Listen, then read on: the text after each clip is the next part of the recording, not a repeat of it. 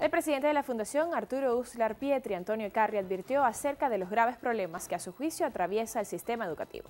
Pocas escuelas, crecimiento de la exclusión del sistema educativo y deserción escolar son, a su juicio, los problemas más graves. ¿Qué quiere decir esto? Que hay niños en este momento que nunca van a pisar una escuela en Venezuela. Estamos regresando al siglo XIX aceleradamente.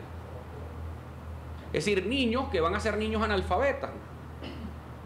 Yo conozco testimonios y casos de niños en el oeste de esta ciudad que nunca han ingresado a una escuela. Nunca. Que no ingresaron nunca. Por supuesto están en la banda delictiva.